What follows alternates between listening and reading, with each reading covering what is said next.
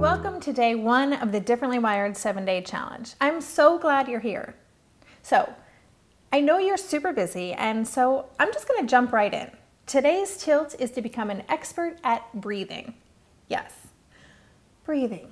And I'm going to show you what I mean right now. So, stop what you're doing, take a deep inhale, and hold it for count of five, and slowly blow it out through your mouth. Now do it again. Inhale, count to five, slowly exhale, and blow it out. Okay, got it? Good, because that simple action can be a game changer.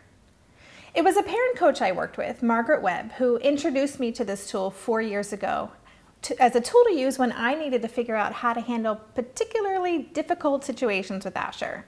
I remember at the time I was thinking like, yeah, yeah, deep breaths. That doesn't actually fix anything.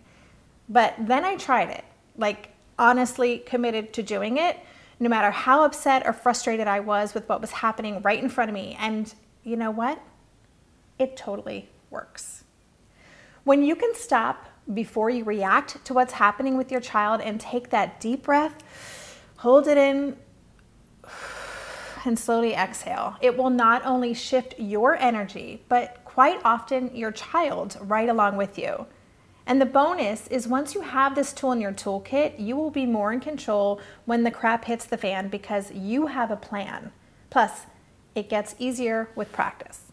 So, your challenge for today is to commit to taking a breath, counting to five, and slowly exhale when you're in a tough situation with your child at least one time each day. Of course, if you have a day with no difficult situation, awesome. But assuming you're taking those breaths, notice how they changed what was happening both for you and for your child. Oh, and one last thing. To download the Differently Wired 7-Day Challenge workbook, click on the link below. It's a PDF workbook you can print out and fill in as you go along with your pen, or you can do it on your computer. Thanks so much for watching, and I'll see you here tomorrow.